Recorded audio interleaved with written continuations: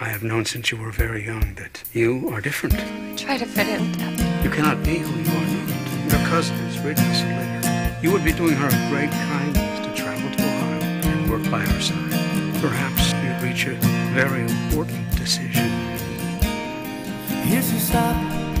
Welcome home. It's been a long time coming. I I can show you around town if you'd like. I like to find my own. on your own. As you wish.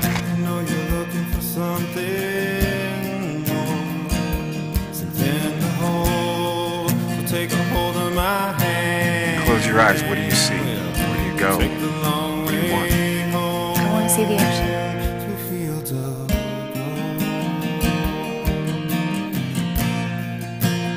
oh, This is how it begins. How what begins? This is Noah Weaver. Hello. What's the deal there? Husband? Boyfriend? I could never think of him in that way. Well, I'm pretty sure he was about you in that way. Don't be silly. silly.